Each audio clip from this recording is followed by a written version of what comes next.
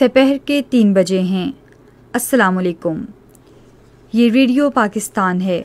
समरा यूसुफ से खबरें सुनिए। पहले अहम खबरों का खुलासा। वज़ीर अजम ने कहा है कि मुल्क की बहरी सरहदों के तहफ़ के लिए पाक बहरिया को जदीद टेक्नोलॉजी से लैस करना हुकूमत की अवलिन तरजीह है। शहबाज शरीफ ने सबक सदर आसिफ अली जरदारी की वालदा की वफात पर इजहार ताज़ियत के लिए आज शहीद बेनज़ीराबाद का दौरा किया। सदर ने गिलगित बल्तिस्तान के गवर्नर राजा जलाल हुसैन का इस्तीफा मंजूर कर लिया है। भारत के गैर कानूनी जेर कब्जा जम्मू कश्मीर में नेशनल कॉन्फ्रेंस के सदर ने मोदी हुकूमत पर ज़ोर दिया है कि वो हर धर्मी पर मबनी रवैया तर्क करते हुए अपनी कश्मीर पॉलिसी का जायजा ले। चीन ने आलमी बिरादरी पर ज़ोर दिया है कि वो मुश्किल वक्त में अफ़गानिस्तान की मदद के लिए कोशिशें तेज करे। और इसराइली फौजियों ने मकबूजा मगरबी किनारे में आज एक फलस्तीनी नौजवान को शहीद कर दिया। और अब खबरें तफसील के साथ। वजी अजम शहबाज शरीफ ने कहा है कि मुल्क दिफा को नाकबिल तस्खीर बनाने और दहशत गर्दी के खात्मे में अहम किरदार अदा करने में पूरी कौम को मुसल्ह अफवाज पर फख्र है। उन्होंने ये बात आज कराची में पाकिस्तान नेवल एकेडमी में एक सौ सत्रहवीं मिडशिपमैन और पच्चीसवीं शॉर्ट सर्विस कमीशन कोर्स के कैडेट्स की पासिंग आउट परेड से खिताब करते हुए कही।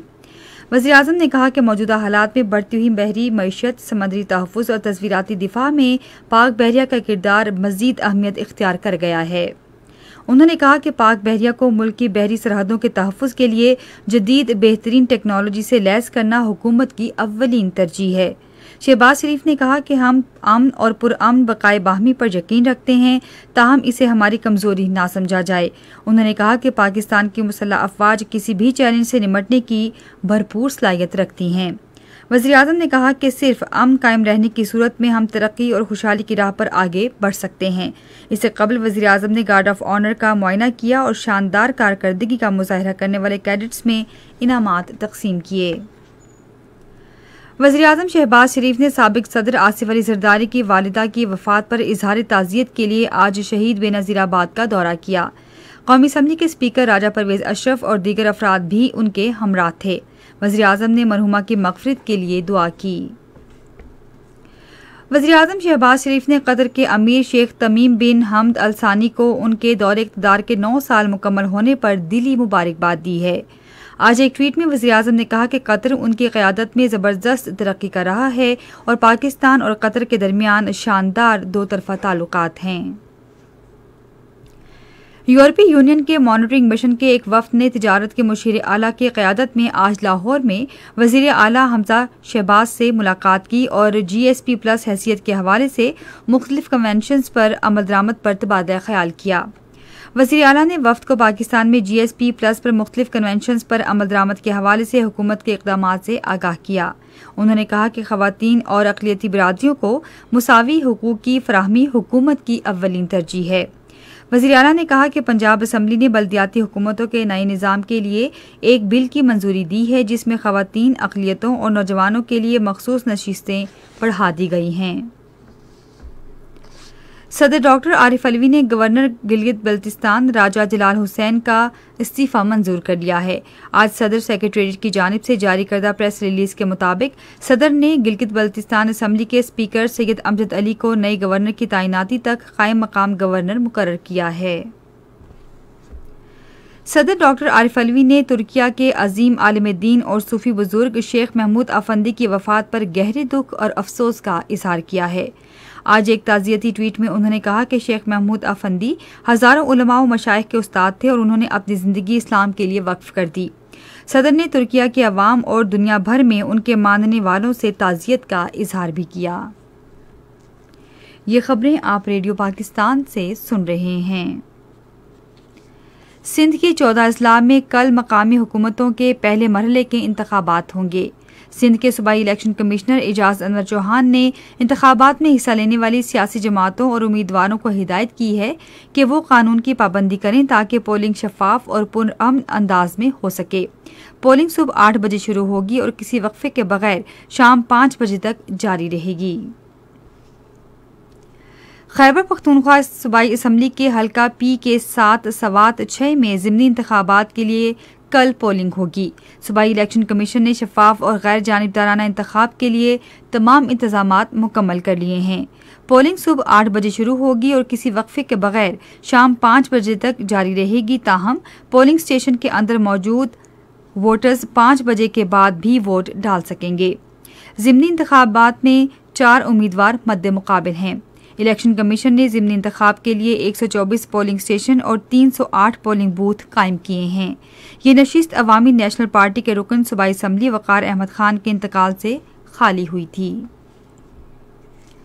भारत के गैर कानूनी जेर कब्जा जम्मू कश्मीर में नेशनल कॉन्फ्रेंस के सदर फारूक अब्दुल्ला ने भारतीय हुकूमत से मुतालबा किया है कि वो हर धर्मी पर मबनी रवैया तर्क करते हुए अपनी कश्मीर पॉलिसी पर नजरसानी करे, क्योंकि अमन ताकत से हासिल नहीं किया जा सकता।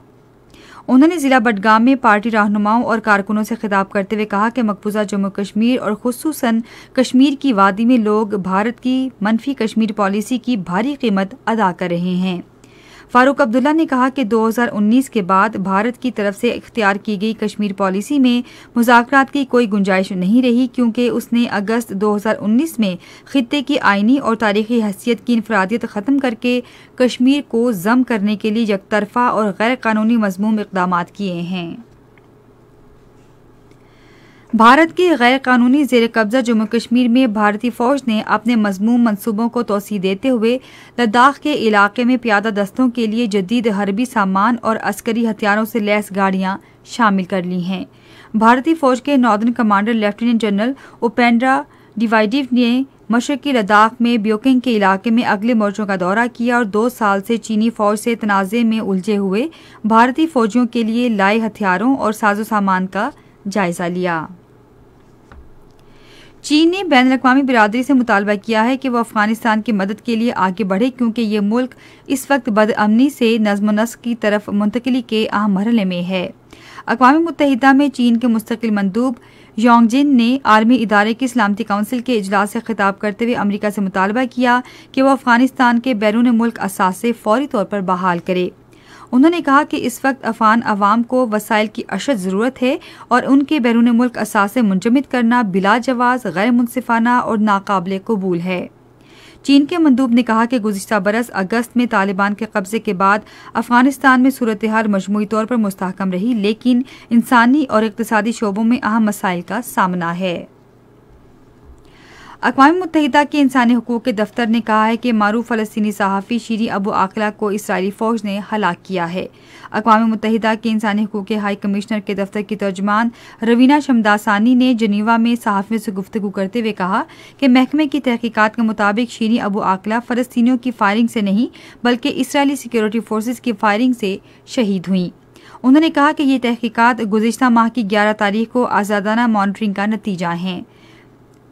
इक्यावन साल सहाफ़ी शीरी अबू आकला अल जजीरा चैनल से वाबस्ता थी और उनका शुमार खत्े के इंतहाई तजुबाकार और मकबूल नामा दिगारों में होता था। उधर इसराइली फौजियों ने आज मकबूजा मगरबी किनारे में एक फ़लस्तनी नौजवान को फायरिंग करके शहीद कर दिया।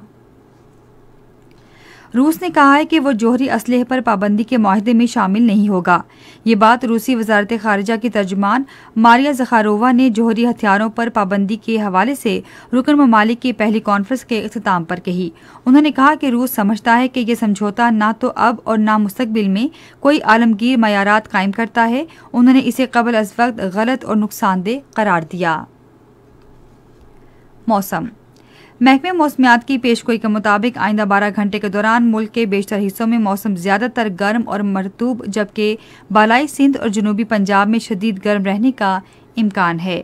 आज रिकॉर्ड किया गया दर्ज हरारत इस्लामाबाद और मुजफ्फराबाद उनतालीस डिग्री सेंटीग्रेड लाहौर 40, कराची 36, पिशावर और गिलगित सैंतीस कोयटा 38, मरी 27, श्रीनगर 28, जम्मू 38 और लह 19 डिग्री सेंटीग्रेड रिकॉर्ड किया गया। खबरें खत्म हुई। मजीद खबरों तजियों के लिए आई हमारी वेबसाइट पर radio dot G dot P K और फेसबुक के link radio Pakistan news official पर बरह रास्त वीडियो स्ट्रीमिंग भी मुलाजा कीजिए।